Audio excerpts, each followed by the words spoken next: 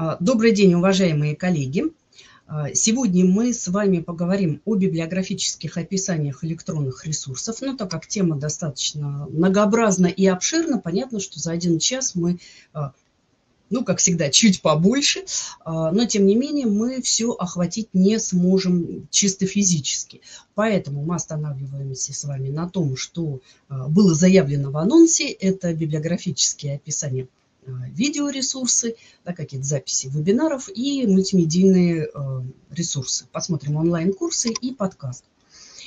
А, почему выбор именно в сторону этих электронных ресурсов? Ну, потому что в самих ГОСТах про них э, мало что сказано. Там есть видео записи художественных фильмов, мультимедийные ресурсы. Вот в ГОСТе 2018 года библиографическая запись, библиографическое описание – там мультимедийные ресурсы, имелось в виду что-то, а, сделанное а, на CD или на DVD-диске. Да? А если выложено в сети интернет, а тогда что с этим делать? В новом ГОСТе по ссылкам на электронные документы, представленном в сети в информационно-телекоммуникационных, размещенных в информационно-телекоммуникационных сетях, ну, по-русски говоря, сетевые ресурсы, по-простому, а, там тоже этим вопросам уделено мало места. И уж, по крайней мере, точно нет э, готовых, да, как мы любим. Нам бы схемку, аль чертеж, мы бы затеяли вертеж. Да? Дайте мне готовую схемку, и я переверну весь мир. А, а вот этого нет. Поэтому нам приходится на основании положения ГОСТов, пунктов ГОСТов э, обложиться документами и на основании этого самостоятельно формулировать составлять библиографические э, схемы библиографических описаний и э, на основании этого уже там, собирать какие-то примеры. А, вот такой вариант, э, ну, это не, не не легкая задача, особенно если мы говорим о не библиографах, а наш цикл как раз и идет библиография для не библиографов. А, им-то как в этом случае быть? Вот хотелось бы какие-то готовые вещи, да, от чего оттолкнуться, или ими пользоваться, или доработать и уже а, применять в своей практике. А, вот а, такие сегодня мы вещи с вами и посмотрим. А, свою задачу сегодня я вижу в том, чтобы показать вам, как это делаю я, да, и исходя из чего я формулирую так или иначе то или иное библиографическое описание, а вы уже можете либо принять эту точку зрения, да, либо сказать, нет, Татьяна Викторовна, а, вот здесь вот это не не целый ресурс, а составная часть. А нет, это не отдельный том, это а, можно а, провести аналогию с отдельной главой книги, да, и тогда по-другому выстроится библиографическое описание. Ради бога, это очень даже хорошо. Но самое главное, что а, прежде чем предложить какую-то схему или а, образец описания, а, вы сами должны понять, чего откуда взялось, как оно там оказалось и исходя из чего да, выстроилась та или иная схема. Ну, немножко вот так расшевелить мозг. А, вот такая тренировка для мозга. А, вижу вопрос э, Ин, Ирина Барсова про презентацию. Да, презентация э, чуть ближе к концу я вам скажу, скачать можно будет. А, поэтому не, не волнуйтесь презентация будет, вот основные схемы, таблички полезности, они там будут. Ну, какие-то красоты нет. Извините, но нет. да. Красоты сами сможете нарисовать. А, и э, таким образом э, я вам подготовила материал для скачивания, что вы можете его слегка трансформировав на его основе создать, например, свою презентацию под э, свою специфику. Если у вас историко-архивный институт, например, или там, отделение литературоведения или факультет, то, конечно, у вас будет другой набор и видеосюжетов, и описание, другие источники, и лучше их подгонять под э, то, чем обычно ваши студенты как раз и пользуются. Если технический вуз, там будет что-то совсем другое. Да? А, самое главное, вот, смысл и суть. А, итак, библиографические описания электронных ресурсов. Нашли мы подходящую, с чего все начинается? С того, что мы нашли какой-то подходящий видеосюжет. Ну, например, а, смотрели мы видеозапись лекции, и вдруг, о, вот как раз то, что мне в моей работе может пригодиться в статье или в, в ВКР или в магистрской, или, или где-то еще, да, в студенческой, в студенческой магистрской работе, работе аспиранта.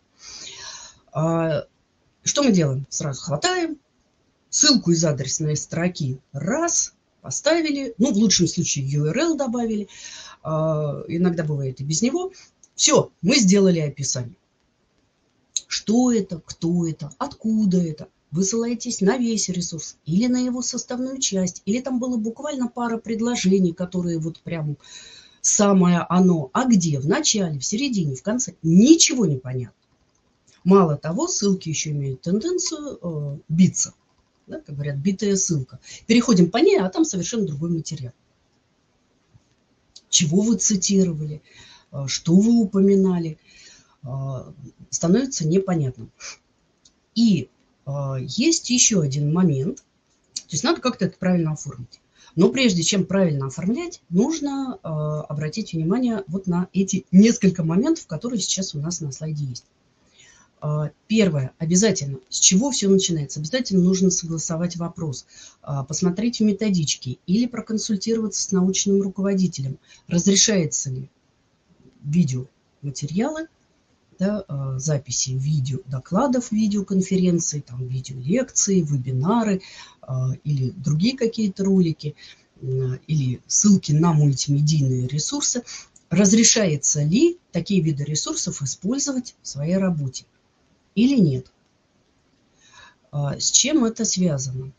Ну, во-первых, то, о чем мы с вами говорили, это ресурсы изменяемые. То есть даже на мультимедийный ресурс, который просто размещен на сайте, а, не э, является официально изданным, например, учебником мультимедийным, если он а, официально издается, да, он также размещается на сайте, но у него есть номер УДК, ББК, ИСБН. А, вот в этом случае менять ничего в этом ресурсе уже нельзя. То есть это как книгу издали, и все. У нее просто другой формат существования. Но если я просто положила материал, ну вот курс да, наш по библиографии, библиографии для небиблиографов, э, он лежит, он, можно его отнести к мультимедийным, э, мы им пользуемся, все. А для следующей группы по этому же адресу будет, может быть, совершенно другой материал. Или качественно переработанный. Что-то дополнится, что-то уйдет. То есть я могу менять э, даже по ходу курса а, могу менять материалы, отдельные блоки там. Вот это будет электронный ресурс. Да? То есть есть два э, вот, момента. Э, вы на него ссылаетесь, а там что-то поменялось. Взяли видео в фрагменте, там какой-то кусочек вырезали, а вы как раз на него и ссылались, а его нет. Вот и все.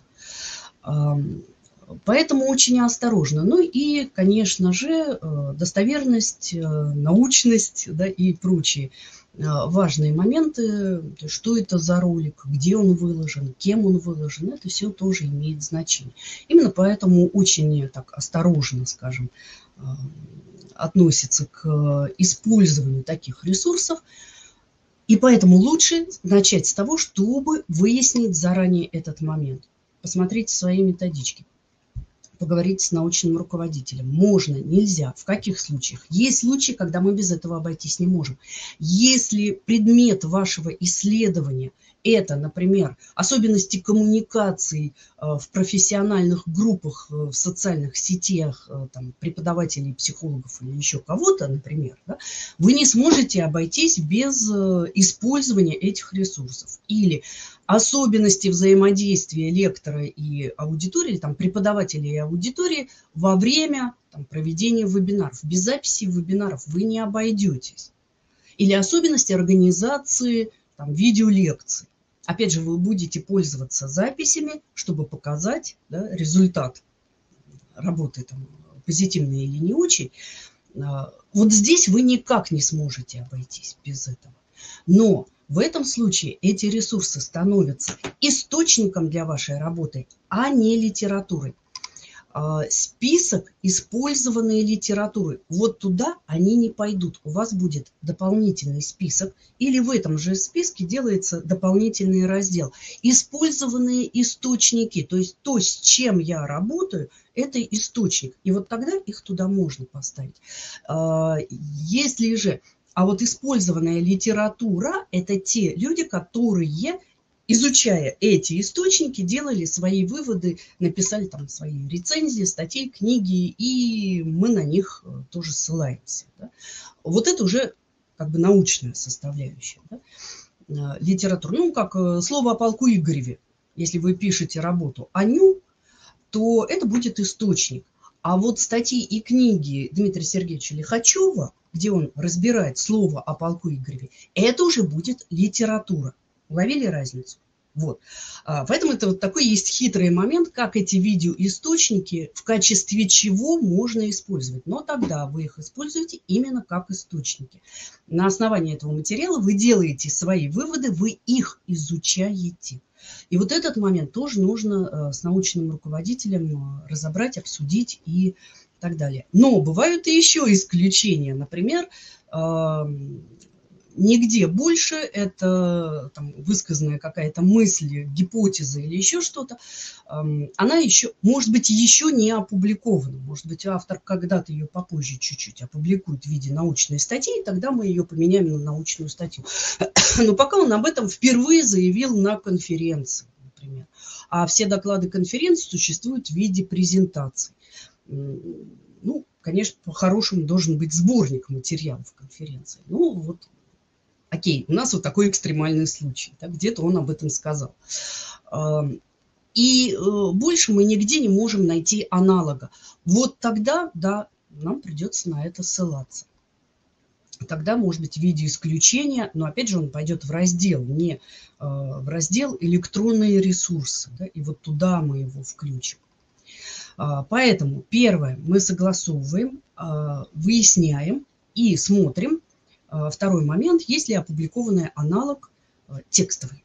Да, текстовый аналог а, вот этого самого сюжета. Ну, например, у нас была лекция, видеозапись лекции, а может быть он существует в виде конспекта или издан конспект лекций, да, тогда мы лучше возьмем, лучше взять его.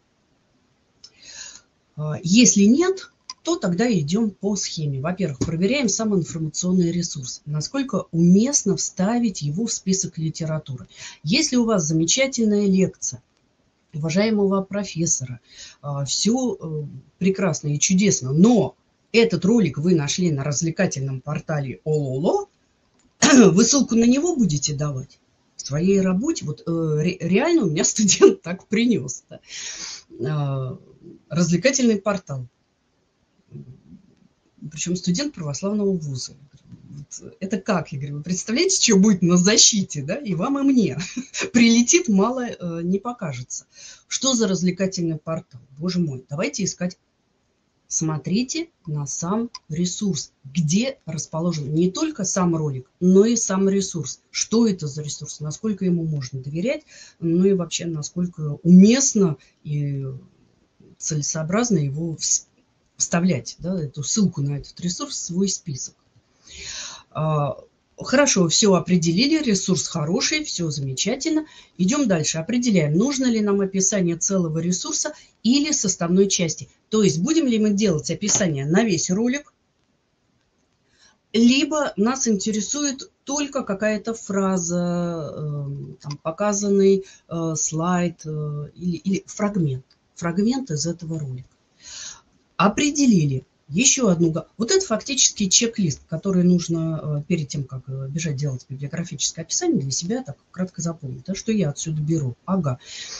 А, вот после этого мы составляем библиографическое описание либо на целый ресурс, либо на составную часть. А как это делается на предыдущих вебинарах, мы с вами тоже смотрели.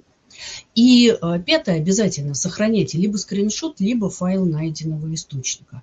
Э, ссылку хорошо, если несколько ссылок, он размещен в нескольких местах, например, и на YouTube, и на сайте. И где-то еще в СДУ лежит. Вот все эти три ссылки сохраняйте, потому что э, что-то где-то в одном моменте исчезло, и все, и у вас ресурса-то нет, вы на что ссылаетесь. Да, а так вы просто можете поменять ссылку и всегда этот ресурс найдете. Ну или в крайнем случае э, сделать скриншот, что вот э, экрана, э, ну как сегодня, например, посмотрим, скриншот видео, там, в, в, записи вебинара, выложенной на YouTube, и сразу видно, что это запись, вот ее название, вот она выложена на YouTube, вот она, даже если она потом исчезает, то ну, конечно, править оно, конечно, придется, но у вас, по крайней мере, остается подтверждение того, что это существовало, да? а не так, что мы чего-то придумали сами и составили. А ссылка потом вдруг пропала. Да? Иди ищи.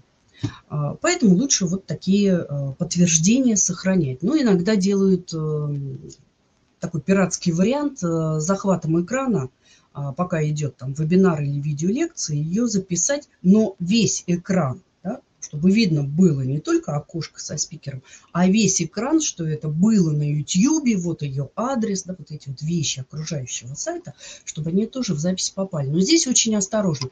А, вы не сможете эту запись куда-либо вгружать, показывать, размещать, делиться в соцсетях и прочее, в мессенджерах прочее, прочее. Это только лично для вас как подтверждение того, что эта запись существовала, и вот она была на экране. Ну, может быть, даже скриншота в этом случае достаточно. Ну, вот как вариант. Имейте в виду, чтобы подтверждение было. Но опять же, если возникают вопросы, как сделать описание, по имеющемуся скриншоту это легче э, сделать. И по ссылкам. Итак, мы э, разобрали, да, э, прошли весь этот нелегкий путь ну и фактически вот этот, э, по этому алгоритму мы собрали всю нужную информацию. Кстати, это же правило и этот же алгоритм э, действий работает и для других электронных ресурсов, и для докладов, выступлений на онлайн-конференциях, медиаресурсов, вебинаров. Прям вот с этого начинается. Ну и, конечно же, для статей. А, статьи сайта. Вот три вопроса, которые у нас сегодня с вами на повестке. Вдобавок к тому, что было в анонсе, начнем мы с вами с самого простого, э, такая разминка. Да? А, статьи сайтов и из блогов тоже очень часто используем, тоже очень часто в наши списки работы они попадают, и поэтому я ее э, добавила, ну, уже после того, как был готов анонс нашего вебинара, э, к видеозаписи мультимедийным ресурсам еще и статьи сайтов из блогов, потому что есть различия э, в этих статьях, и очень часто их э, путают, делают э, не совсем э, ну, не совсем так, как надо. Да? Статья из сайта или статья журнала, а какая разница? По форме э, небольшая, а вот по сути содержанию основательная. А, статьи э, сайтов и э, из блогов. Вот здесь мы вспоминаем с вами, что статья статьи рознь и статья из научного журнала совсем не то, что статья из блога или сайта. А, во-первых, как мы уже говорили, уровень надежности, достоверности данных э, в самих статьях будет, может быть различным.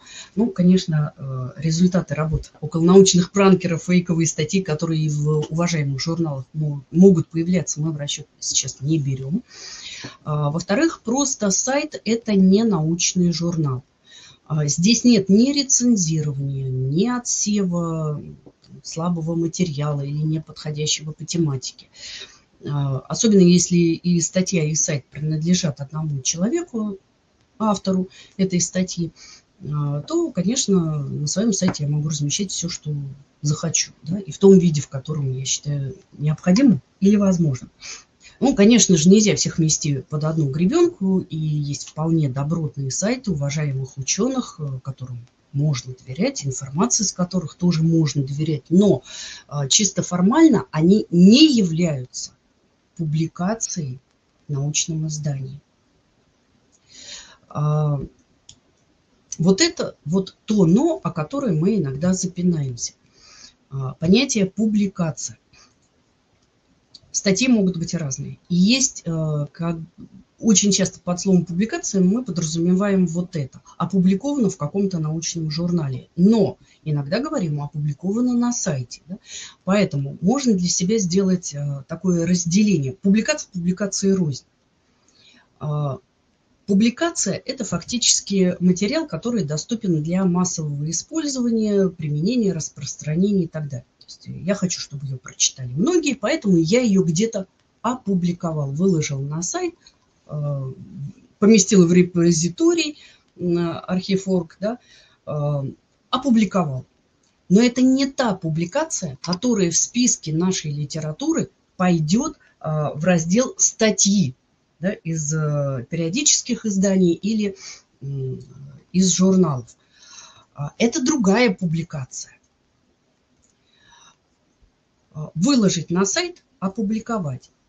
А, издать в научном журнале, тоже опубликовать. Но здесь есть издательский цикл. Вот это официальная публикация. Ну, можно сказать вот так, публикация издания или просто публикация.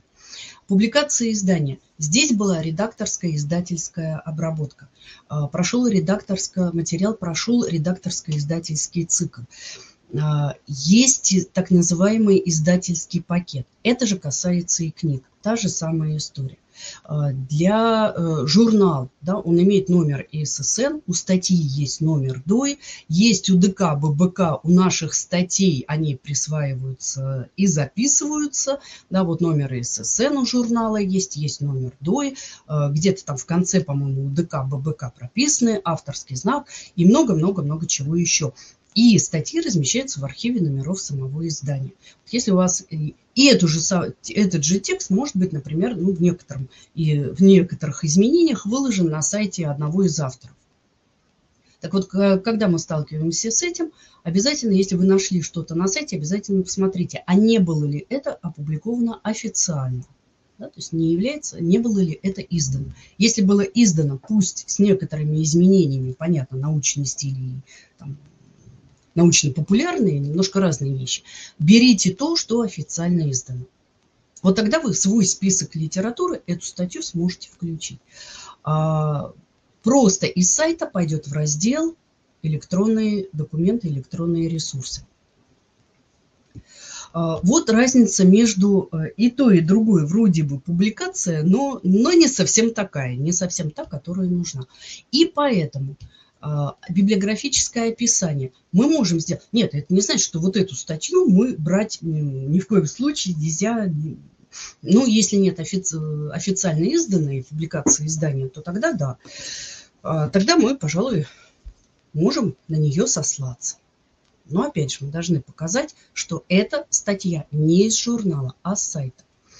А, для этого мы собираем информацию по сайту, где расположена эта статья, для того, чтобы сделать библиографическое описание. А, вот это два частых случая, с которыми приходится сталкиваться. Просто ссылка или, э, ну, в лучшем случае, URL поставили, раз, э, поменял автор Э, местоположение этой статьи, разместил ее на другую страницу, перенес ее еще куда-то, и все, ссылка у нас получается битая. Что за ней скрывается, непонятно. Вот по этому сказать, не открыв сам источник, что это за статья, можно ее добавлять в свой список, не можно добавлять ее в свой список, а вообще, насколько ей можно доверять, где она была расположена. Очень сложно, вообще невозможно. Значит, мы должны в библиографическом описании все эти данные привести.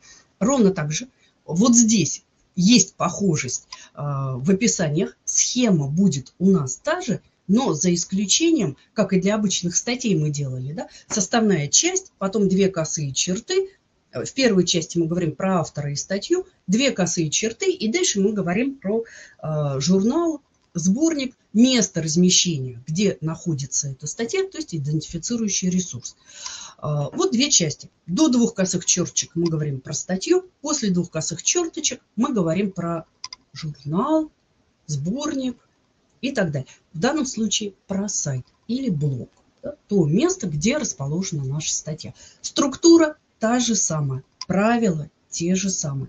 Сколько авторов в заголовке, кого указываем за косой чертой, когда за косой чертой можно автора статьи не указывать и прочее, прочее, прочее. Вот это можете посмотреть в вебинар, когда мы говорили про э, составную часть ресурса. Вот эти все основные правила, они остаются, они работают. То есть, что для журнала сделать описание, что для статьи сайта, э, что для статьи журнала или сайта, они во многом похожи. Вот здесь можно проводить аналогии. Но есть и свои нюансы. Итак, мы, э, во-первых, сбор данных. Э, сайта собрать сложнее. Если в статье, как правило, все данные уже приведены, там в начале статьи, что-то в конце, да, то здесь нам приходится листать весь, иногда э, открывать дополнительные пункты меню для того, чтобы посмотреть вообще название этого ресурса, да, не является ли он сам составной частью. Но много лишней информации на сайтах, бывает рекламы там какой-то. Да? И вот это вот нужно вычленить. Ну вот мы видим, название статьи есть, уже хорошо, отлично. Так, смотрим, здесь нам повезло, автор статьи указан в начале и даже указана дата публикации. А, название, ну мы понимаем, что это какой-то блог, да, статья из блога. А, название, вот оно у нас есть, и адрес мы берем из адресной строки. Копия-пастом, скопировали, поставили. Да, вот мы э, практически всю информацию собрали. А, иногда, не всегда нам с этим а, везет. А, да, коллеги, вижу. Спасибо, Людмила Ивановна. Презентацию чуть попозже я вам открою. Все, все полезности там будут. Ну и плюс запись самого вебинара можно будет посмотреть как мы это делаем. Да? Здесь нам повезло. Автор есть в начале. Не всегда так на э, статьях сайтов иногда автора можно найти в начале статьи, там, где идет э, там, вступительная часть, иногда ее набирают курсивом, и вот там упоминается. Да? Либо в конце статьи, то есть нам надо ее всю прокрутить. Если мы не увидели автора в начале, это не значит, что статьи его нет. Крутим вниз, смотрим. Иногда в самом тексте идет упоминание. А вот на этом сайте, э, ну вот э, повезло, да, здесь автор указан, но есть боковая эм, сбоку вот идет какая-то информация, вот такая коротенькие, ну, как в газетах, да, столбец э, информация. И вот здесь более подробно рассказано об авторе. Но для этого надо было прокрутить сайт, до половины статьи. И вот тогда появляется информация об авторе. То есть здесь очень внимательно приходится высматривать да, э, информацию об авторе. А, ну и потом там Барс, э, Юхас, э, Юх, Юхас, Юнас, как-то а если вообще такой человек, да, а вдруг это фейковая статья. Ну, во-первых, мы можем здесь прочитать про него, что да, фотография приведена. Во-вторых, мы можем по фотографии, например, осуществить поиск в интернете. Это быстро делается. Пробиваем там в поисковик, так как автор иностранный, лучше через Google. Да, и мы сразу увидим вообще, есть такой PhD товарищ э, Барс, или это кто-то что-то придумал и тогда мы эту статью, наверное, брать не будем к себе. Нет, такой человек реально существует, есть там, молодой ученый, но смущает, что у него официальных публикаций ну, пока на ResearchGate обнаружено не было. Ну, как-то вот... Но не, сомнения есть, но это не значит, что его нет или статья плохая. Да? Ну, просто очень осторожно проверяем. Ага, вот мы все данные собрали. Теперь нам надо их выстроить э, в некой последовательности. И вот мы э, делаем библиографическое описание на саму статью. Вот то, что мы взяли с нашего сайта. Автор и заголовок у нас есть. Название копипаста поставили. Теперь нам надо пояснить, что это. Вот здесь нам нужно будет пояснить, что это такое. Э, в журнальной статье мы бы этого не делали. Э, статья из официальной, из публикация изданий, вот там бы мы этого не делали. Мы сразу э, изображение электронное, DOI и две косые черты пошло в название издания.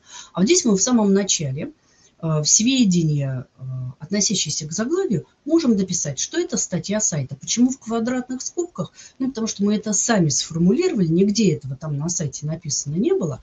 Можем статья из блога, статья сайта, ну, вот как-то так, да, обозначить ее. Можно было бы здесь написать статья из блога. А, автора указали.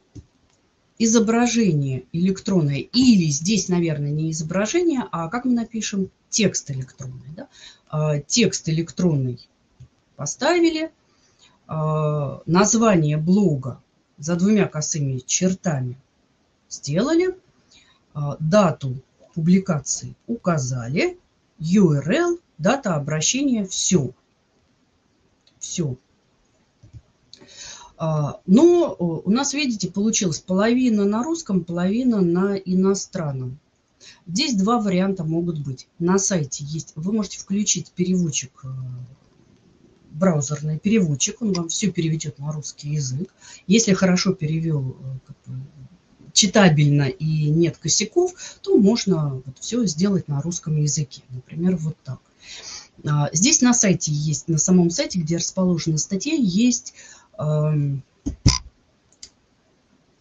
выбор языка сайта. Английский, там, португальский, французский и русский в том числе, там около 20 языков, поэтому мы можем спокойно поставить перевод и сделать в переводе. А, либо вот здесь, да, а, все перевести на английский язык, либо оставить вот в таком виде. Но все три варианта, они э, возможны. А, взяли из источника. Если посмотрите, для электронных ресурсов э, в самом ГОСТе дата указывается именно вот э, таким образом. Это блок, который ведется регулярно. А, вот они в этом а, плане приравниваются скорее к а, газетным публикациям, да, не журнальные, а скорее газетные публикации по э, день-месяц. Поэтому вот в таком виде они указываются.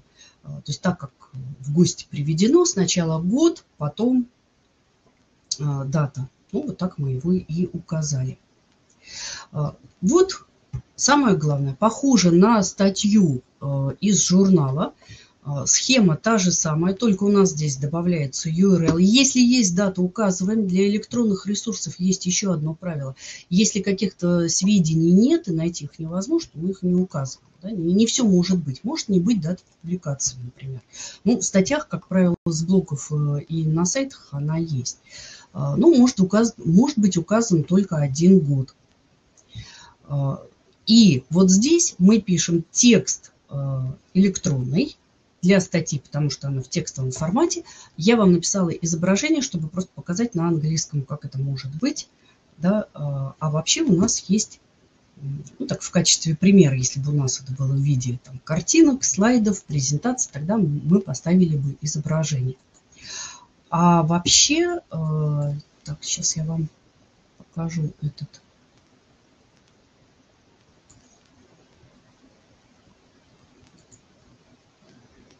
Вот. А для текстовых э, вариантов можно, вот такая табличка, она у вас будет э, в презентации э, на раздачу. Вот отсюда такие общепринятые слова, которые часто у нас унифицированные, да, обозначения, которые у нас часто попадаются в библиографических описаниях, особенно источник, если на иностранных языках, вот когда не очень так красиво выглядит половина на русском, половина на английском, то основные пере, а, переводы, а, они здесь есть. Ну, вот сюда еще вот pictures из нашего примера можно добавить. А для статей, для текстового формата вот у нас текст непосредственно или текст электронный. Вот тогда отсюда можно будет взять. Вот. А, не заглавные не знаю. Не знаю. Может быть, может быть, может быть и заглавный. Так, и возвращаемся назад. А, с книгами та же самая история. А, смотрите внимательно. Вот с книгами, со статьями вроде бы все понятно, с книгами то, то же самое. А, была ли книга издана официально или это просто текст, который опубликован на сайте. Ну вот, например, книга о Прохоровых есть официально изданная, есть все данные, по которым мы можем составить описание, и плюс она еще включена в каталог РГБ. То есть э, обязательный экземпляр поступает в РГБ. Да, э, ну, вот основные данные мы можем посмотреть, что да, такая книга действительно издавалась. Ну и, конечно же, титул, оборот титульного листа. Если печатный вариант, если электронная книга, мы на нее э, тоже можем сделать официальное описание, как на электронную книгу. Но если материал был просто положен, вот, а вот этот книга другого автора, и он честно здесь написал, что она пока не издана, и он ее просто выкладывает на сайт, да, чтобы люди могли с ней. Это тоже ознакомиться, это тоже публикация, но официально она издана не была, номера ИСБН у нее нет. Если нет номера ИСБН, то книгу продавать нельзя. Да, а, ну, через книготорговые сети официально продавать ее не получится, потому что они все строятся на э, все свои каталоги и учеты, они строят на вот этих бар-кодах, э, основанных на номере ИСБН, на штрих-кодах и прочее. А здесь ее быть просто по определению не может, потому что книга не издавалась. Э, вот это тоже важный момент, чтобы случайно не купить, э, например, на сайте выложенный просто текст, под видом книги. Там написать можно все что угодно, и оформить можно как научная монография и все там бестселлеры и все-все-все прочее. Но если нет вот этого издательского пакета, то очень внимательно. Вы платите в этом случае деньги просто за текст, но не за книгу. То есть она официальный издательский цикл не проходила. Это просто текст написали, положили, ну и платный доступ э, к прочтению какого-то материала, выложенного на сайте. Скорее всего, вот так. Но не официальная книга. И поэтому ссылаться на нее в своих работах как на книгу или научную монографию и вставлять список литературы в раздел «Научная литература» мы не можем она тоже пойдет в раздел «Электронные ресурсы», как статья сайта, как просто какой-то материал, размещенный в информационно-телекоммуникационных сетях. Вот это тоже важно понимать, э, что куда у нас пойдет в список, чтобы потом не оказалось, что половину того, что у вас представлено в разделе «Научная литература», вам нужно просто оттуда изымать. Да, и у вас слишком много электронных ресурсов. Э, вот это те моменты, на которые нужно обращать внимание. Ну и теперь пойдем а, к нашим а, после года. Нет, после года это, а, Елена, ставим в том случае, если у нас идет следующая область, а здесь дата. Да? День, месяц, год, они не через точку тире. Если статья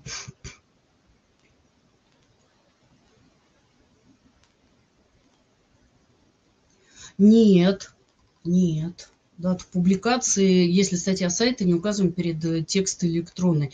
А, местоположение составной э, части ресурса и дата публикации, они идут к идентифицирующему ресурсу, вот туда его лучше вставлять. Да?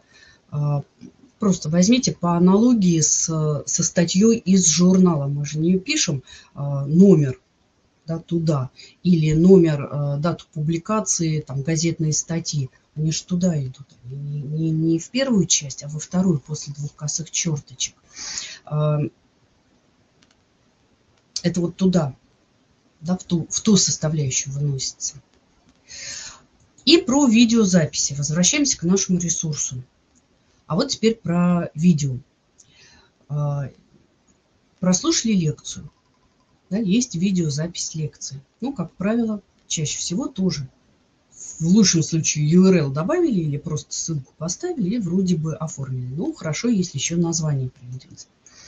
А, алгоритм тот же самый. А, проверяем, смотрим и собираем информацию. В частности, нам нужен заголовок, нам нужно основное заглавие, а, длительность, аналог количества страниц длительность либо самого видеоролика, вот это можно взять э, со слайдера вот здесь, вот оно указано, да, общее количество, если мы ссылаемся на весь ролик, то мы берем общее количество, час 21 минута 40 секунд.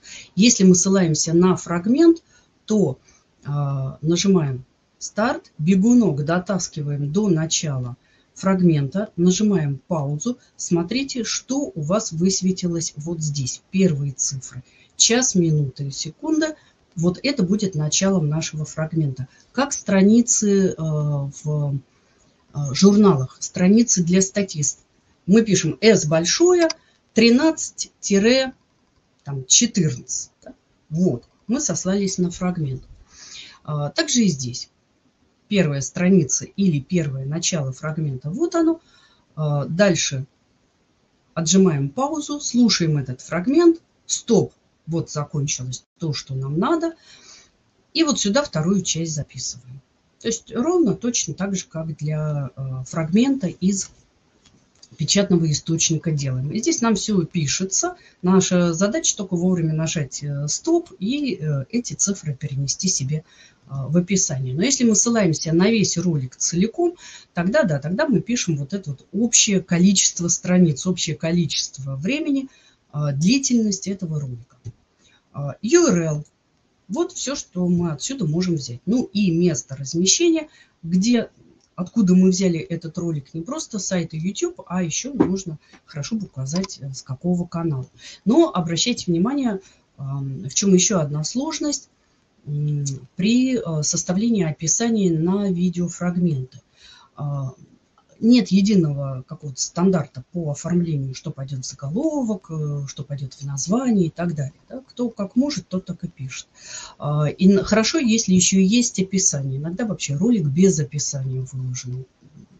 Дополнительную информацию мы можем открыть вот здесь описание и посмотреть более подробно. А, иногда и авторы здесь находятся, и а, все, все остальные, да, что, кто, кто, кто нам нужен. А, и что нам нужно, все эти элементы мы отсюда можем а, взять. Вот здесь в названии, если мы просто возьмем, скопируем и поставим как основное, а, основное заглавие, да, ну, не совсем понятно, вот это что. Это надо нам заглавие вставлять или нет. Но, скорее всего, здесь имелось в виду, что вот эта вот запись является частью канала, а может быть и сайта. Да? А, поэтому вот смотрим, смотрим очень внимательно. Иногда вот ставят какие-то знаки не совсем понятные. Ну, наверное, это имел в виду автор. Надо ли нам вот так а, вставлять в основное заглавие? Ну, наверное, нет. Наверное, мы его можем вот здесь без этого поставить просто духовные законы жизни, курс лекции, лекция номер 6, вот эту часть взять. А это, скорее всего, нам просто подсказка, что это кусочек сайта. Ну, видим, видимо, было так. И вот тогда мы можем, например, сделать э, описание вот таким образом. Заголовок у нас есть. Э, название мы вот взяли, сюда поставили. Две косые черты мы не трогали. Э, сделали пометочку, что это видеозапись, изображение электрона. Ну и вот сюда мы дописали, что это канал. Вот название да, канала. Вот откуда это было взято канал на YouTube. Канал можно написать профессора Осипову да, на YouTube. Время воспроизведения, вот мы его написали. URL поставили, дата обращения. Ну, вот вроде бы, вроде бы и все. Вот на ролик э, с YouTube, в принципе, можно вот таким вот образом э, сделать описание. Но внимательно нужно смотреть и э, понимать, да, э, нужно нам вот это вот две косые черты в название вставлять? Наверное, нет. Наверное, вот это имелось в виду. А в сведения об ответственности, ну, наверное, да, можно добавить, хотя, хотя даже не знаю. Давайте посмотрим. А, дата размещения можно, Вдруг он на записи не один. Если он не один, то да, тогда нужно, нужно будет добавить. А, смотрите, мы здесь э, исходим, почему мы можем не добавить э, сведения об ответственности. Мы, смотрите, что мы делаем. Мы делаем описание на составную часть э, канала. Да? Видео, с канала. Не на как э, отдельный ресурс, а мы поставили две косые черты, то есть это неотъемлемая часть этого канала. А там у нас есть, что если данные есть один автор, и данные одни и те же, что уже указывались в заголовке, второй раз их за косой чертой можно не повторять. Поэтому мы взяли и их опустили. Если же они отличаются, тогда да, их нужно будет повторить. А, если он на записи не один, если там что значит не один? Если несколько авторов, то тогда мы за косой чертой, конечно же, всех их укажем. А, здесь еще есть вот такая вещь. А, заставка. А, у этого ролика сделано правильно и грамотно. Обращайте внимание всегда, есть ли заставка у видеоролика. Как правило, основные данные мы можем брать вот отсюда. И даже для названия, для основного заглавия, вот они здесь приведены. То есть берем с экрана. Но заставки иногда очень быстро пробегают, э, сразу включается, если э, прокручивание ролика, не всегда ее можно увидеть, поэтому надо под, подловить. На сайтах это э, заставки дольше держатся. Да? Ну вот на YouTube, да, бывает такое, что мы включаем, и сразу начинается ролик. И заставка, видно, что она есть, но она очень быстро мелькает. То есть здесь ее нужно будет э, подловить.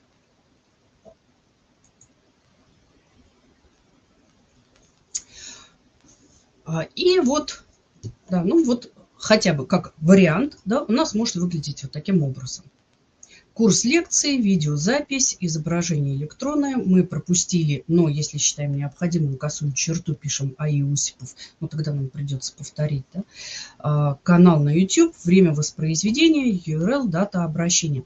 А, время записи, а, время размещения на канале или время проведения. Вот здесь вы можете указывать не... Эм, смотрите, как вариант. Можно время размещения – можно указывать дату проведения. Лучше, конечно, дату проведения, потому что ролик может быть не только на канале на YouTube. Например, почему мы его здесь не указали? Да? А потому что есть еще сайт. А, сайт профессора, и если мы в поисковике будем искать, мы можем найти ролик на YouTube и ролик на а, тот же самый, та же самая запись, та же самая лекция, а, ну, представленная на сайте. Тогда мы можем сделать описание. А, и там, и там мы можем его найти. А, вы можете найти сразу ролик на YouTube, и тогда делаем описание на него. А может быть, вы смотрели его на сайте. Не на YouTube, а на сайте. Да, он расположен на YouTube. Здесь он воспроизводится в плеере, но вы на YouTube не ходили. Вы берете все данные, которые есть на сайте. Да, как ролик, э, ролик сайта. Видео, вот он, прям раздел видеолекции, вот они все пошли. Вот мы его здесь нашли. И посмотрите, название здесь, название здесь. Они отличаются. Да. Здесь вот так, в скобочках только лекция номер 6, а здесь вообще приведено курс лекций и приведена дата. Вот тогда, если есть дата опубликования, то э, дата проведения там, вебинара или э, эфира, да, скажем так, тогда лучше ставить ее, ставить ее. Куда ее можно поставить? Можно поставить вот сюда. Э, дата проведения или дата, э, дата записи, 15.03.2024. Вспомните а, пример в гости а, пример а, в гости 2018, да, там какой-то видеоклип, который и в конце вот здесь, после даты обращения, точка тире, клип был записан там, в, в 2015 году или клип был записан там, в каком-то году. Ну вот ровно так же мы можем это сделать и здесь. А, то есть дату мы можем вынести вот сюда и дописать что-то. Дата проведения лекции или дата записи лекции 15.03.24. А, а, заголовок есть, название есть, но, видите, вот у нас здесь вот такая история еще появилась. Как можно сделать варианты? Да, вот Мари, Марина Соловьева вариант э, пишет, э, как написал бы Осипов Алексей Ильич, канал пользователя YouTube, да, как вариант можно. Я же говорю, здесь, э, понимаете, история в том, что нет единственно ну, нет пока еще единственно верного закрепленного варианта в ГОСТе, что вот образец да, у нас есть, список примеров, и вот там пример на видеозапись лекции. Его нет, поэтому мы сейчас с вами его э, формируем. И вы можете тоже сказать, нет, а я напишу вот так, не канал, а э, канал пользователя на YouTube, и вынесу это в сведения, относящиеся к заглавию. Ради бога, да, как вариант, может быть. А, самое главное, вы просто составьте один какой-то образец вот, э, к тем, кто разрабатывает, преподаватели, методисты, библиографы, библиотекари. Вы сделайте один хотя бы вариант для э, пользователей да, чтобы а у вас был этот образец. Он может отличаться от того, что будет у других, что есть э, сейчас, что я вам предлагаю. Да, может отличаться. Я вам просто даю разные вариации, а вы уже посмотрите, можно ли это как-то доработать. Да, и, и, и не стараться усложнить, а наоборот стараться облегчить да, облегчить студентам э, набор только самых основных главных элементов, по которым мы сможем эту видеозапись, например, найти или понять а, из того, что представлено, о чем идет речь. Ну вот, например, вот здесь вот, да, э, а так, да, вот здесь можно, можно как вариант, конечно, Марин. Вот, видите, дата проведения лекции мы можем вот сюда дописать, вот как в том же ГОСТе 2018 года. Есть образец, мы на него ориентируемся. Дата проведения, дата публикации. Да? Только э, у нас, понятно, не научный журнал, дату публикации мы не пишем, а вот дату проведения лекции мы вполне в конце можем обозначить, что лекция прошла тогда. А, несколько вариантов я вам здесь показываю. А, вы посмотрите, эти варианты, по-моему, у нас есть в презентации. А, то, на что можно основываться. Они чуть-чуть отличаются друг от друга. Почему? Мы просто посмотрели здесь разные варианты, как это может выглядеть. Первый э, вариант – это э, первое описание, первый пример – это вот то, что мы с вами посмотрели. Просто видеолекция с YouTube. С YouTube, как ролик с YouTube у нас здесь представлен. Второй вариант – это как составная часть сайта. Мы же помним, а, может, а, а если мы смотрели его сайта, то он является частью этого сайта, и тогда мы можем сделать на него описание как на часть сайта. И вот, э, Марина, видите, вот здесь мы написали, да, э, Осипов Алексей Ильич, двоеточие, да, сведения, относящиеся к заглавию, поясняем, что это официальный сайт. Ну, потому что сайт так и называется. Вот. Если мы не добавим, то получается, как здесь, немножко забавно, получается, что это кусочек от самого профессора Осипова. Но это неправильно. Это кусочек либо канала, либо сайта. Поэтому нам сведения, относи, э, сведения, относящиеся к заглавию, указать нужно вот это пояснение, что это официальный сайт. Вот если бы вот так было написано, было бы там, да, было бы ну, покрасивее, скажем правильно. А, время воспроизведения мы делаем на весь э, ролик описание, поэтому время воспроизведения вот так указываем. Опять же, отличие от ГОСТа 2018. Там по-другому приводится время воспроизведения. Но ГОСТ по ссылкам на электронные ресурсы 2022 года приводит именно вот такой порядок записи, как для ресурса целиком, так и для фрагментов. Ну, для фрагментов там пишется в начале с большой В и без скобочек время как страницы в конце и э, S большая для печатных работ перед страницей, перед пагинацией. Да? Здесь то же самое, только буковка В. Э, именно вот в таком формате. Э, пункт 6, 10.2, по-моему. Посмотрю сейчас поточнее. Вот именно вот такой формат. И смотрите, что получается. Коллеги, нажмите, пожалуйста, на значок огонек, видно ли, э, вид, видно ли меня. Ой, в смысле, слышно ли, слышно ли меня. Ага, отлично, все, хорошо. Что-то что, -то, камера немножко отошла. Угу. Что-то что с камерой случилось. Э, ну, хорошо, давайте оставим. Главное, чтобы звук был. А, так вот, смотрите, а в ГОСТе 2022, который говорит про ссылки, дается вот такой формат записи. А в ГОСТе по библиографическим описаниям там общее количество времени записывается в круглых э, скобках и так далее. Э, получается два разных формата записи одного и того же. Да, физическая область. И вот представьте себе, что э, студенту, который не библиограф, надо сделать библиографическое описание. И там он в одном формате указывает, как общее количество 6 часов 38 минут, там 42 секунды. А когда он на этот же источник делает ссылку, ему говорят, нет, здесь надо вот так указывать формат записи времени и фрагмента, потому что в ГОСТе 22 года указан именно вот такой формат. Зачем? Вот э, меня один вопрос возникает, да, всегда. За, зачем, почему? Ну, давайте их пожалеем. Давайте сделаем один формат записи. Вот этот, э, и в методичку его просто пропишем. Вот этот формат, он более правильный. А, он основан как раз на ГОСТе по записи дат, времени и прочих ресурсов. И вот в, 20, в ГОСТе 22 года там как раз э, это и обосновывается, да, на основании чего вот такой формат э, времени приводится. И он, в общем-то, более правильный. Так легче, во-первых, искать фрагменты.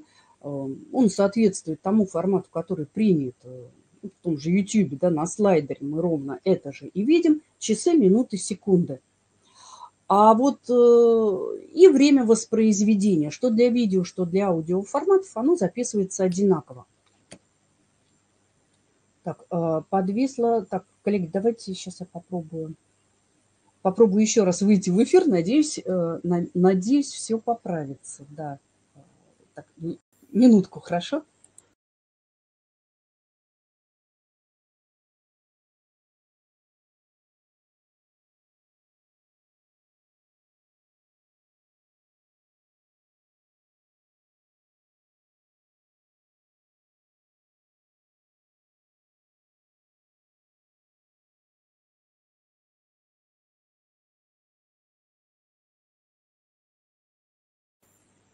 Вот. Надеюсь, сейчас все нормально, да? А, ага, отлично, все, появилось. А, да, сведения, поясняющие заглавие, в, ГОСТ, в ГОСТах тоже по-разному, в квадратных скобках и без. А, если мы сами... Здесь можно принять э, просто одно правило, опять же, общее для всех, да, для, для методичек. Можно и так, и так записывать, но лучше прописать одно правило. Например, если это написано, то без, э, без квадратных скобок. А, ну, в основном же мы пишем а, в квадратные скобки то, что мы формулируем самостоятельно или берем из непредписанных источников. Да? И можно оставить это правило уж единое для всех, просто посмотреть, чтобы у вас не отличалось. Вот для, если мы формулируем самостоятельно для печатных источников, то мы ставим квадратные скобки. А если для видеоресурсов, то не ставим квадратные скобки. Ну, вот зачем лишнее запоминать? Э, не библиографом, да, путать их. А, ну, со временем, может быть, это и можно будет сделать. А, ну, удобнее все-таки, чтобы было как-то вот одно правило. Да, взяли, уж ставим, так ставим. Ага, спасибо, коллеги, все, все вернулось изображение нормально. Так вот, вот это ролик с YouTube. Можно сделать вот так, и этого достаточно. А, вот это мы пишем, что мы взяли, смотрели его на официальном сайте. Видите, примерно все, все то же самое. Да, только мы нашли, что там, оказывается, есть дата проведения лекции. Если на YouTube э, в описании ролика мы тоже эту информацию нашли, поставьте лучше ее, дата проведения лекции, когда она состоялась. Потому что выложить ее на, а, можно и через месяц, и через два, и через три. Да. Нас все-таки интересует ну, как бы дата официальная, когда это было сказано. А сказано это было 15 марта. А, и еще два варианта я вам сюда привожу. Логика здесь была такая. Здесь мы смотрели просто как э, лекция, читанная где-то, вот, э, как вебинар. Да? Прошла лекция и вот пошло описание, как на ролик, как на ролик. Но мы видим, что это лекция номер 6. Тогда получается, что есть некий курс, который называется «Апологетика», в рамках которой эта лекция сама является составной частью этого курса. То есть здесь мы уже имеем дело, получается, с многочастным ресурсом, не с одночастным, а, как книга и многотомник. Также и здесь получается, есть а, общее заглавие «Апологетика», курс лекции «Апологетика», а в рамках этого курса есть отдельная лекция раз, два, три, четыре, пять, шесть. Похоже на многотомник. Похоже. Если мы оттолкнемся от этого, тогда у нас получается третий вариант. Мы можем сделать описание вот так. А, курс лекций по апологетике, лекция номер 6, духовные законы жизни, видеозапись. Значит, почему у нас здесь получились точки? То есть, смотрите, мы немножко поменяли. Здесь мы под частным заглавием делаем описание на этот ролик, а здесь мы э, рассмотрели как, э, как многотомник, да? как на отдельный том из многотомника. Тогда мы пишем курс лекций по апологетике 2024. Опять же, берем это из этого названия, которое было на сайте. Лекция номер 6. Духовные законы жизни. И видеозапись.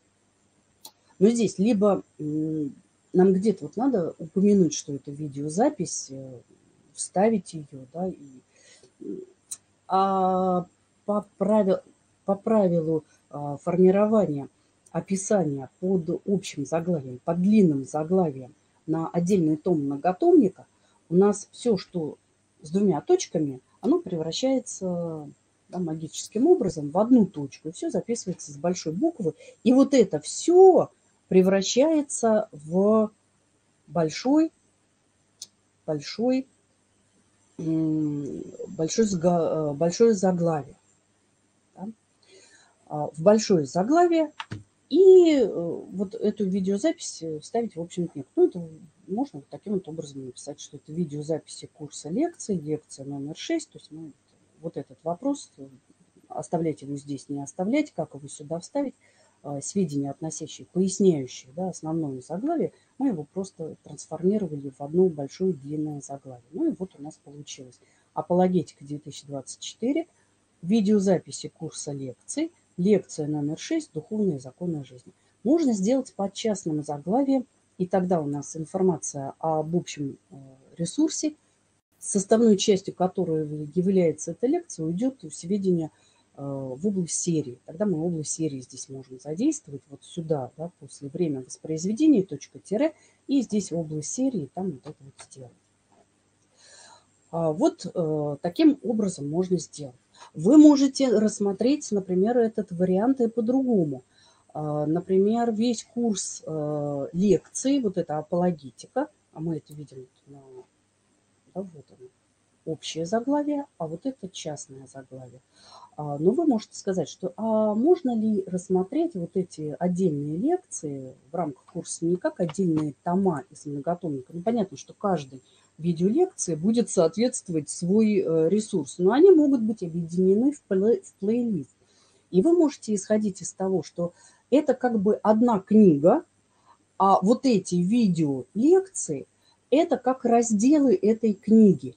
И вот тогда мы рассматриваем уже не как многотомник, а как э, ссылку на раздел книги. И вот тогда уже пойдет после э, вот сюда, да, у нас официальный сайт, вот сюда лекция номер 6, и э, сюда можно будет поставить дату как раз проведения и время воспроизведения дальше вместо страниц. То есть увидели, да, если это раздел, если мы это, этот ролик, вот этот курс лекции рассматриваем как единую книгу, тогда делаем как ссылку на раздел, на отдельную часть этой книги. А, либо мы можем рассмотреть это как многотомник, например. Но здесь тома мы не пишем, потому что мы не знаем, а, сколько там лекций вообще. Можем подразумевать, потому что это, видимо, учебная дисциплина. В учебный план она включена, и, как правило, там уже сразу определено количество часов, то есть количество этих лекций, мы их просто не знаем. Ну, тогда, если не знаем, мы их опускаем мы будем тут заниматься вот такой, таким расследованием. Если бы это было написано, например, курс, ли, курс из там, 24 лекций, о, тогда вообще замечательно. Мы поставили сюда как для многотомника у нас бы хорошо бы вписалось. Как вариант. Да? То есть, вот видите, мы по-разному можем сделать а, описание на, а, вот с видеозаписями лекций такая история может возникать. Поэтому мы несколько вариантов с вами здесь рассмотрели.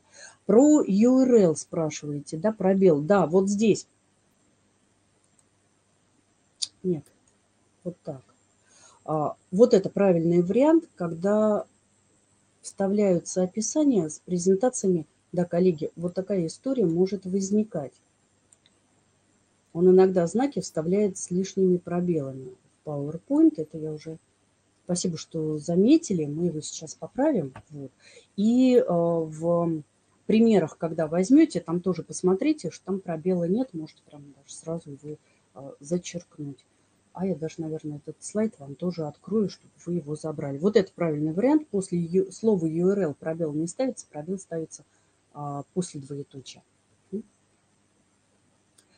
А, когда пишется текст, когда пишется изображение, значит, смотрите, если у нас видеосюжет, а у нас здесь видеоролик, везде пишется изображение электронное. Текст электронный, если это статья. Вот как мы в первом варианте с вами смотрели, текст, э, там надо было текст электронный написать. Э, статья сайта, там, где текстовые форматы идут, там пишется текст. Если у вас несколько а, вариантов. и текст, и изображение, или изображение, и текст, а, то тогда пишется совершенно верно, как Светлана Субботина нам написала, текст, изображение, электроны, а есть еще, если их больше трех, то есть э, вариант замены. Мы пишем разные виды содержания, двоеточие, электронные. Вот для мультимедийных ресурсов такой вариант записи применим. А, в, что идет на первое место, что на второе, можете посмотреть особенности в ГОСТах. Это хорошо прописано для комбинированных ресурсов. А, если, изобра... Если у нас, например, а, какой-то элемент, какой-то вид содержания незначительный, то мы его можем опустить. Художественный альбом, как приводится в примере ГОСТа, да, художественный альбом с краткими пояснениями, краткий текст, там, подписи, картин. А, там можно просто писать изображение непосредственное, да, а, текст опускать, потому что его незначительное. То же самое наоборот. Если у нас все текстовое и там одна какая-то несчастненькая схемка, вы можете написать текст электронный. Для статей мы уже не пишем текст э, изображения, хотя там есть изображения, есть картинки, но их э, количество незначительно. Да, поэтому мы их опускаем, мы обычно пишем текст электронный, статья, все. А, так что здесь нужно смотреть еще на сам ресурс. Для а, видеозаписи используется вот это изображение электронное.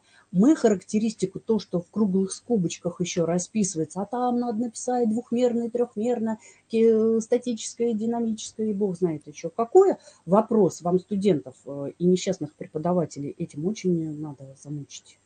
Если да, то введите это правило. Пусть они еще характеристику этого изображения напишут. Оно там двумерное, трехмерное, движущееся, не движущееся. Что там вообще происходит?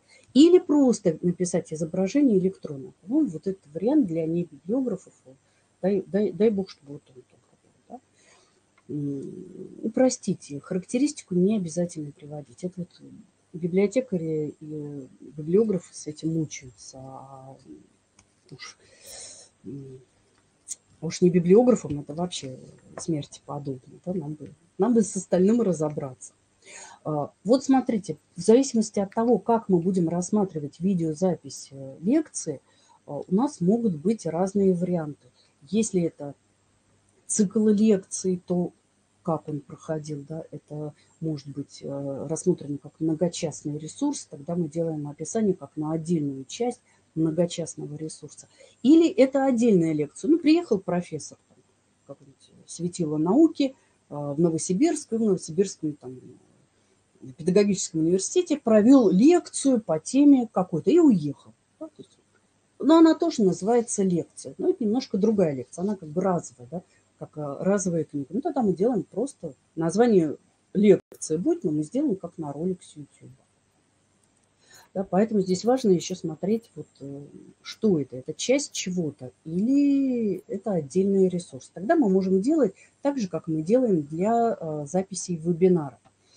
Э, те же самые данные. Заголовок, основное заглавие, дата проведения. В конец можем написать. Длительность продолжения, э, продолжительность этого ролика или фрагмента. И э, URL, вот то, что нам нужно отсюда а, взять. Опять же, открываем сам вебинар. Если есть заставка, ее видно хорошо. Или иногда вот у нас, например, титульный, когда начинается вебинар, видно титульный слайд, там название, как правило, пишется. Здесь еще вот иногда особо наши дисциплинированные авторы пишут дату проведения. И вот название у нас есть. Да?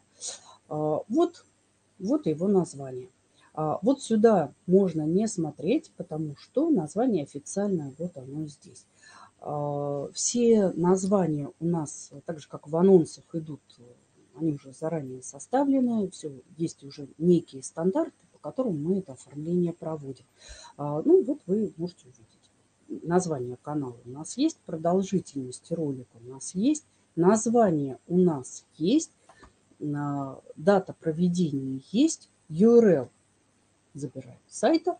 Естественно, э, автор у нас есть. Все, нам осталось только это все правильно расставить.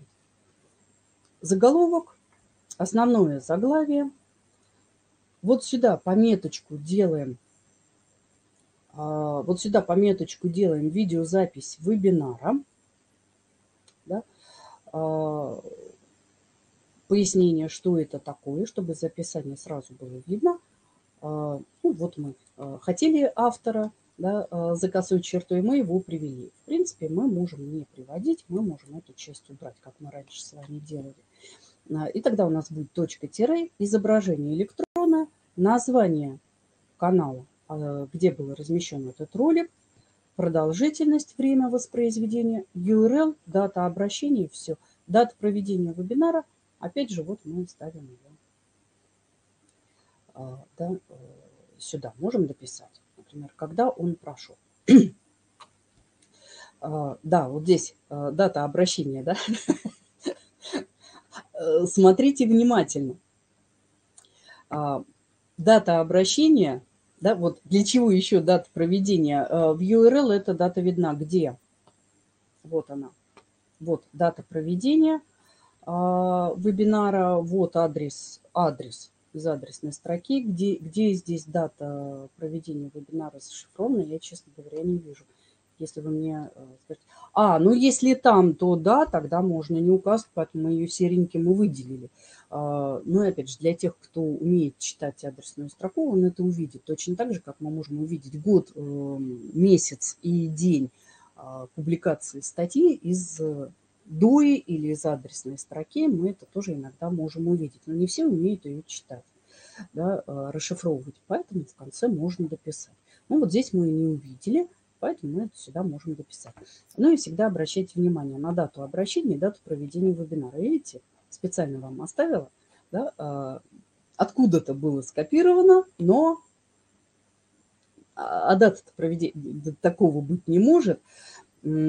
Поэтому вот это еще один момент, давайте мы его подчеркнем, на который нужно обращать внимание, когда вы сами проверяете, например, а, списки источников у своих студентов или свои собственные, иногда бывают вот такие казусы. Либо иногда бывает э, такое, что дата проведения одна, а дата обращения мы поставили, а давай как будто бы вчера, и мы поставили там 19, да, 19.03, а 18 числа этот ролик был э, заменен или куда-то перемещен, или вообще эта страница не существует, что с сайтами очень часто происходит.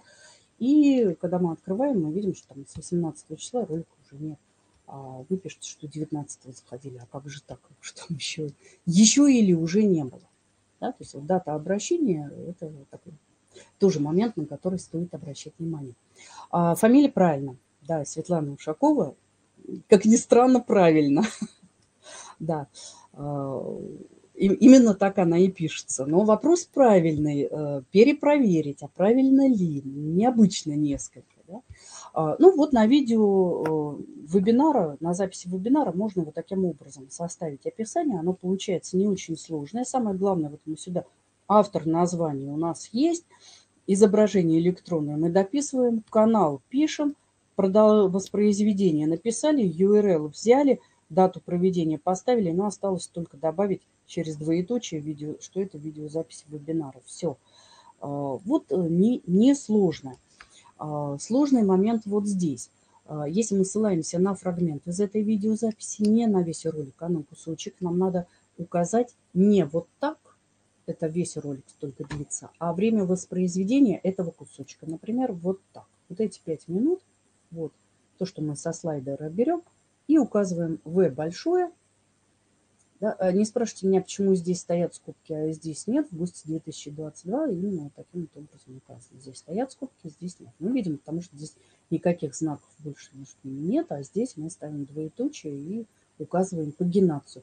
Вместо S большого, как мы делали, для э, печатных изданий мы ставили S большой точкой и страницы, там с первой по вторую. Да? А здесь мы пишем время воспроизведения, значит, и там, и там с большой буквы это не сокращается. Ну вот, э, вот единственная заковыка, которая здесь есть. А дальше все ровно так же мы с вами делаем. Только вот здесь мы пишем время воспроизведения, и мы знаем, что мы ссылаемся на фрагмент. Вот это на всю запись, а вот это, вот по этой строчке можно ориентироваться. А, ну и вот сюда можно а, писать URL э, с привязкой ко времени, брать не э, из адресной строки, а самого видеоролика. Есть э, скопировать URL с привязкой ко времени, остановились на начале фрагмента, его скопировали, сюда поставили. Да, тогда по нему сразу мы попадаем. Но время все равно на всякий случай пишем, если какие-то могут быть э, сбои, да, чтобы можно было найти этот э, фрагмент звучания.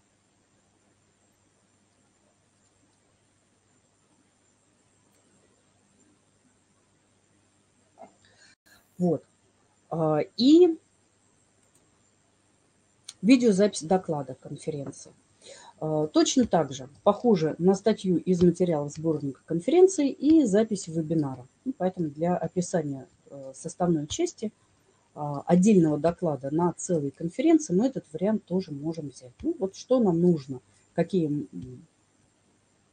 элементы нам обязательно понадобятся, вот отсюда мы их можем найти. А, очень похоже именно на сборник материалов конференции. Ну, вот есть у нас, например, выступление на конференции. Мы нашли название конференции, где, когда она проходила, а, название самого доклада. У нас есть э, данные по докладчику. И это доклад, который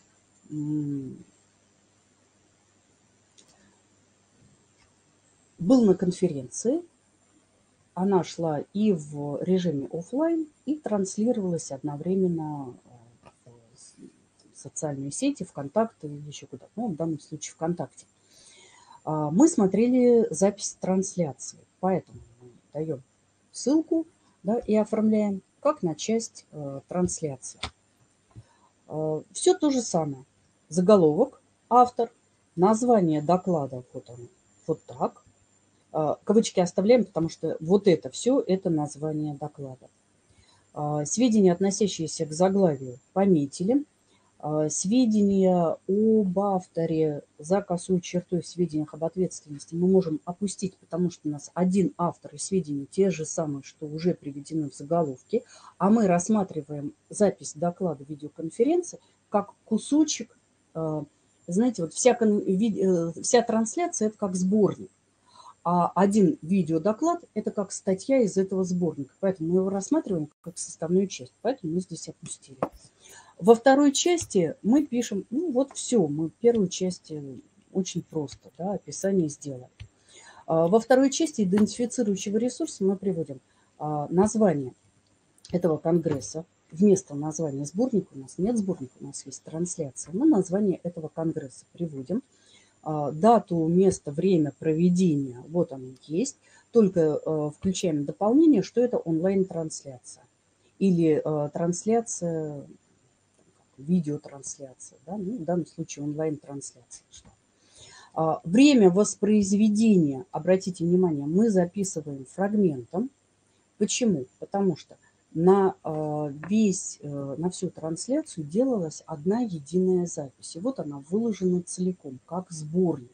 Поэтому по аналогии со статьей сборника нам нужно указать пагинацию, сколько длился именно этот доклад. Не вся конференция, которая шла там 7,5 часов, а именно этот доклад, он же нас интересует, так же, как мы на статью даем же страницы, на которых расположена эта статья. Также и здесь мы указываем время – начало и завершение выступления. Вот мы его указали. То есть здесь будет у нас пагинация. Хотя мы даем ссылку а, на весь э, видеофрагмент, на весь доклад. URL, место размещения, да, э, дата обращения, ну и можно пояснить, что это доступно с сайта ВК. Больше он нигде не выкладывался, он доступен только здесь. А, можно не указывать, потому что здесь у нас название адресной строки уже есть ВК, как у нас коллеги сказали, говорят, зачем, можно не писать. Можно не писать, можем не указывать. А, для ссылки видеофрагмент. Смотрите, все остается то же самое для первичной полной ссылки на этот ресурс. Если у нас запись доклада идет в составе единой записи всей трансляции.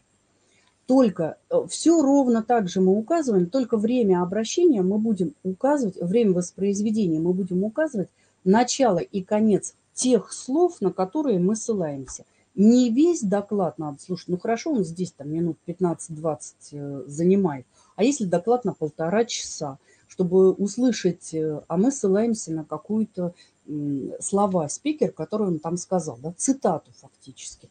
Нам же не надо будет слушать все полтора часа, нам нужно сослаться именно на вот эти слова, где он начал говорить, где он закончил эту фразу. Вот на нее мы ссылаемся. То есть вот здесь будет разница вот во времени, вот здесь. Мы ссылаемся на короткий. А так э, будет э, тоже то же самое.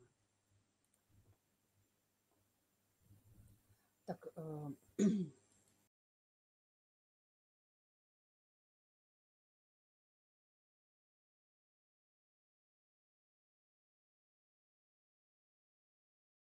Прошу прощения, коллеги, что-то меня сегодня опять э, выбило. Да, не только звук, но и изображение я видела, что пропало. А, вот, это если доклад идет в составе большой записи всей трансляции. Но у нас может быть и вариант, когда э, все доклады выложены, порезаны и выложены отдельными файлами. Здесь проще, здесь по обычной схеме. Все то же самое делаем.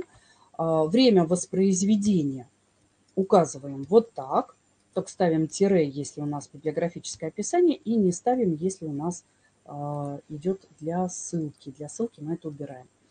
Э, да? И если мы ссылаемся на фрагмент выступления, тогда мы указываем, опять же, как в предыдущем варианте, здесь остается ровно то же самое. Именно этот фрагмент, где звучали эти слова. Все. Э, вот, вот вся разница. То есть если выложены отдельными файлами доклады, тогда мы указываем время воспроизведения вот этого всего ролика, если э, ссылаемся на целиком на него. И если на кусочек э, внутри этого ролика, тогда указываем как э, пагинация. Да, вот таким вот образом. Ну и ссылки на видеозапись первичные могут быть оформлены таким образом. Видеозапись целиком в составе этого в составе, в составе э, целой трансляции и если он представлен э, отдельным файлом. Сейчас а, уже приближаемся к концу. И, коллеги, я вам давайте открою для скачивания обещанную презентацию. Так вот, все, можно, можно забирать. И вот этот вот файлик я вам тоже открою. Там, где мы с вами поправили. Да, вот, вот эти тоже можно, можно будет забрать. Вот. А, три файлика да, с пометочкой. А, так, а, коллеги, сейчас-то звук у нас появился, надеюсь. Ага, все, нормально. Вот э, то, что для видеозаписи у нас существует. Ну и вот да, повторная непоследовательная ссылка, когда мы ее оформляем. Здесь можно оставить автор заглавие, название доклада, время воспроизведения, URL, а, да, место размещения и э, дата обращения. Ну, вот, вот так вот в сокращенном виде. А, про краткое эм, указание ссылок, э, подстрочные ссылки, а, если, напоминаю, что возможен и такой вариант, и такой вариант, при условии, что все необходимые данные приведены в тексте самой работы. То есть если мы в тексте упоминали название автора и э, название этого доклада, то мы можем привести только те сведения, которые приведены за двумя косыми черточками в ссылке, не в описании, а в ссылке. А если же мы указали вообще все, да, там, Юрий Юрьевич Черный в своем докладе, название такое-то, на Международном конгрессе, таком-то, таком-то, в Москве, тогда-то, тогда-то, тогда-то в ФТИ, сказал, что, и приводим эти слова, а, то мы можем оставить, то есть мы все данные и про идентифицирующий ресурс рассказали, и про первую часть до двух косых черточек, они приведены уже в тексте, то тогда можно давать э, ссылку в виде исключения вот таким вот образом, только URL. И а, вопросы для сбора информации, что откуда брать, чтобы не забыть, не пропустить. Опять же, вот такая напоминалка у вас здесь есть. Про мультимедийные ресурсы мы с вами пройдем быстренько. Во-первых, есть разница между эм, нет единого взгляда на то, что такое мультимедийный ресурс и как дается определение понятия мультимедийного ресурса в этих наших двух ГОСТах, я вам сюда тоже привела. И обратите внимание, в самом ГОСТе 2022 года в качестве примера мультимедийного ресурса вообще приведен э, пример видеозаписи того же самого вебинара или видеолекции. Голос за кадром – а, зачитывает или рассказывает, по-моему, рассказывает, очень интересно рассказывает, а на экране просто висит карта. Ну, они там немножко меняются в ходе рассказа. Да? То есть фактически это видеозапись. Но это почему-то подается как э, мультимедийный ресурс. И в то же время в самом пункте 6.10.5 в том же ГОСТе 22 года сказано, что библиографические ссылки на мультимедийный документ – представляющий собой, то есть мультимедийный документ рассматривается как э, ресурс, представляющий собой сочетание компьютерной анимации, графики, обратите внимание, видео, музыки, звукового ряда, добавим текста, которые организованы в единую среду, могут быть составлены и на отдельный знаковый ряд или фрагмент мультимедийного ресурса. То есть видео э, в разных источниках по-разному вообще рассматривают видео там, видеозаписи, ролики, э, называют иногда мультимедийным ресурсом, но тогда, если так, зачем мы тогда в гости большое внимание уделяем еще отдельно видеозаписям? Давайте их все назовем мультимедийными ресурсами, на этом успокоимся. Но нет, мы их разделяем, и потом начинается вот эта каша. Э, поэтому для целей, чтобы не запутаться самим окончательно, не запутать наших не библиографов, возьмите просто за основу, да, что мультимедийный ресурс – это там, где есть текст, есть аудиофайлы, есть видеофайлы, есть гиперссылки обязательно, может быть анимация, то есть несколько вариантов представления информации, блоков, они равнозначны, они объединены в одну среду, как онлайн-курс, да, мы открываем, и там есть и текст, и записи видеолекций, и какие-то интерактивные задания. И обязательно есть интерактивность, есть возможность взаимодействия. И вы можете этот курс, например, только читать тексты, вы можете только смотреть видео, вы можете читать тексты, слушать аудио, а, вы можете эм, решать интерактивные задачки, да, там, проходить какие-то тесты на этом же сайте или не решать их, открывать ссылки или пропустить, если вы этот материал знаете, то есть э, да, переходить по гиперссылкам или нет. То есть вы сами как бы выстраиваете свою траекторию работы с этим документом. А, именно поэтому э, вот это и определяет мультимедийность этого документа, а не то, что мы открыли видеозапись, сидим ее, посмотрели, закрыли, сказали спасибо, что здесь мультимедийного. А, и видео вот во многих э, сейчас учебных пособиях, в справочных определяется как элемент контент, мультимедийного контента, как элемент. А, и тоже говорится о наличии текста, графики, аудиофайлов, видеофайлов, анимации. И вот это все в разных сочетаниях, оно и создает мультимедийный ресурс. Например, вот так. А, мультимедийный ресурс. Есть текст, есть изображение, есть аудиофайл. Все это одновременно можно смотреть, слушать, листать, можно только читать, можно только смотреть картинки, только слушать файл. И мы можем сделать вот здесь ссылку а, и описание как всего ресурса целиком, так и только текстовой части или слайда презентации или аудио а. Да? А, ну вот, например, вот так. Библиографическое описание на подкаст. А, на весь ресурс, на слайды презентации, то есть на всю презентацию, а, либо на звуковую дорожку. Можем ли мы сделать то же самое, например, для видеозаписи вебинара? Да мы умрем, если слайды не нумерованы, да, а, высчитывать, мы будем сидеть вручную, высчитывать сколько там. Не получится, мы можем дать ссылку только на фрагмент видеозаписи этого вебинара. А вот здесь мы можем на разные элементы давать отдельно описание или ссылки. Да? Вот это значит, да, мультимедийный подкаст. Все то же самое. Автор, название, только если мы целиком пишем, мы просто пишем, что это мультимедийный подкаст. Если даем ссылку только на презентацию, мы пишем, что это презентация. Если даем ссылку только на слова, которые прозвучали э, на аудиофайл, то таким образом мы можем написать, что звуковой ряд мультимедийного подкаста или аудиофайл да, мультимедийного подкаста. В сведениях э, обозначаем это в сведения, относящиеся к заглавию и все. А, вместо страниц, естественно, здесь мы можем указать количество слайдов. Ну вот здесь, если известно, мы их можем посчитать, мы их туда указываем. Если не можем указать, то ну, что делать?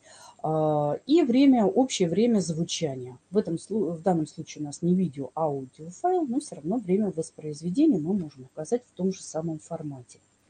И, соответственно, ссылки мы также на подкаст можем оформить на весь а, либо на отдельные э, элементы подкаста. На презентацию, тогда мы вот здесь указываем, на какой слайд или слайды 6-7, да, на что мы ссылаемся. А, вот таким образом мы и ссылки тоже можем сделать. Ну и видите, сокращение у нас здесь есть, мы оставляем только самое необходимое. А, заголовок, заглавие, даже вот это мы можем опустить, что это презентация. Источник, откуда это взято – слайд, да, местоположение, заимствования и адрес URL. Это вот первичная полная ссылка на первичная ссылка на подкаст целиком на мультимедийный ресурс, либо на отдельные элементы. То же самое с библиографией, с онлайн-курсами. Там много разных элементов может быть. Самая большая сложность, так же как с видеозаписями, это собрать информацию о курсе. Приходится смотреть, иногда уходить на главную страницу, возвращаться, смотреть меню для получения дополнительной информации, открывать вот здесь, смотреть лендинг курса. И вот оттуда собирать по крупицам информацию. Ссылку, э, схему я вам здесь привожу. Заголовок, заглавие, сведения Здесь мы напишем мультимедийный онлайн-курс. Первые сведения об ответственности данных, потому что мы целиком на ресурс э, делаем описание. Область физической характеристики – это то, из чего состоит курс. Модули, уроки, лекции, по-разному блоки, по-разному называется тем. URL, дата обращения в нашем формате. Сведения о сайте размещения иногда нужно приводить, поэтому сереньким чаще всего нет – ну и вид содержания, средства доступа можно сразу писать. Для мультимедийных ресурсов разные виды содержания, средства доступа электронные. И вот так у нас может выглядеть описание. Вот видите, 5 тематических модулей. Вот это пойдет в физическую характеристику. Автор, название, а, пояснение, что это, да, что это мультимедийный курс. Первые сведения об ответственности, вторые не обязательно, мы их можем опустить. 5 модулей, а, адрес расположения, с какого сайта доступен, можем писать, можем нет, но иногда это бывает важно. Разные виды содержания электронные. Все. Вот оно. По схеме вот мы его сделали. Вот оно. Самое главное это найти на сайте всю нужную нам информацию. А, что в адресной э, строке? Почему мы иногда пишем «доступен сайта» и э, я вам говорю, что иногда это нужно указывать. Например, смотрите, сайт, а, курс живет на сайте лекториума. Если мы заходим а, через лекториум и есть доступ, то мы вот это можем не писать. Просто URL этого достаточно. Да? Он там и живет. Но иногда бывает так. Он живет на сайте лекториум, но попасть на него через сайт лекториума мы не можем. Входа нет. Этот курс реализуется совместно с Новосибирским университетом. И чтобы попасть, нам надо зайти на сайт Новосибирского университета, там зарегистрироваться или стать участником курса, или в общем, выполнить какой-то ряд действий, условий, да, и только потом мы попадаем на курс, э, расположенный в лектории. Вот тогда мы пишем, что доступен сайт Новосибирского университета, а, чтобы сразу можно было, ага, найти сайт Новосибирского университета и туда зайти. А жить он может совсем по другому адресу. А это мы говорим, откуда мы на него заходили. Вот, э, в этом случае, да, это нужно будет указывать. Ну и э, видеолекции, например, расположенные внутри онлайн-курса, можно сделать вот таким образом. Ссылка на всю лекцию. Как это делается, мы с вами уже посмотрели. Здесь нам проще. Он привязан уже к курсу. Есть название курса. Вот так мы можем это сделать. И это мы ссылаемся на слова, на фрагмент внутри этой видеолекции. Вот мы совершенно просто можем сделать, особо не заморачиваясь, вот такое описание. Э, ну и схемы библиографических э, описаний для вот таких мультимедийных ресурсов, которых сейчас становится очень много. Это может быть онлайн-курс, это может быть там справочно какой-то ресурс информационный, обучающий сам учитель и прочее. Э, ну вот по той же схеме мы можем это делать. Она же пригодится, например, для тех же подкастов. Мы тоже по этой схеме его делали для ресурса целиком, для составной части ресурса и э, схема первичных полных ссылок на ресурс целиком, либо на составную часть. Только вот здесь сведения, относящиеся к заглавию, мы пишем, что это презентация, э, видео или еще что-то. А, вот для первичных ссылок этого вполне достаточно. Ну и доступно на или доступ с какого-то сайта сереньким мы выделяем, если есть необходимость, то мы, конечно, это указываем. Потому что не всегда мы можем это в области примечания у нас. Вот сюда уходит URL и дата обращения, а, но не всегда это доступ да, с того сайта, где живет сам э, ресурс. А, ну вот, коллеги, и все, кто нас спрашивал, на сколько времени рассчитан вебинар. Да, немножко мы задержались сегодня с вами, так, постарались разобрать по максимуму. И в конце э, таблички, которые у вас есть э, в презентации, которую можно скачать.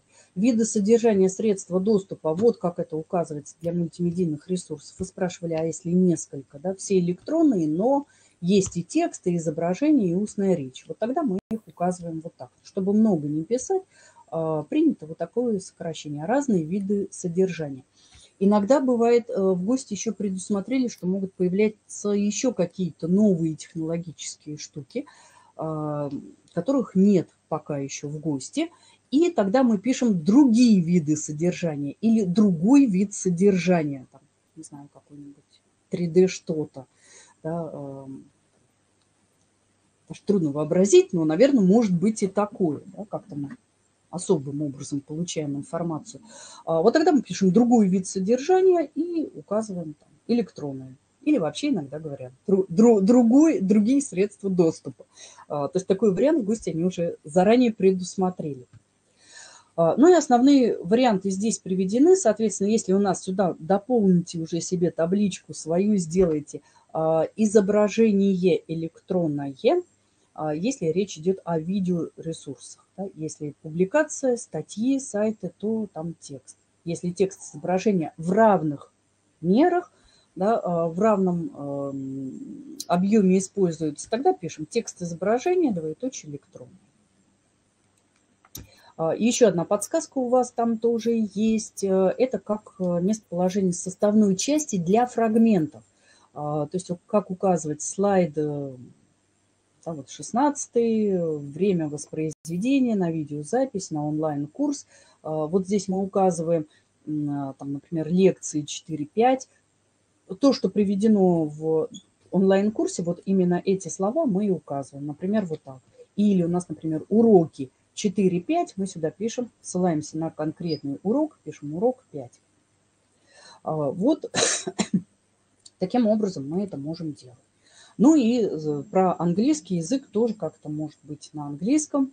А, ну и изначально возьмите да, наш пример. Текст электроник вставьте туда про статью, а изображение Picture Electronic добавьте в эту табличку. Задание на дом. И тогда у вас будет вот такой подсказка, такой вот шпар, такая шпаргалка. А, вот, ну вот, коллеги, вроде бы и все. Добрались мы с вами до конца.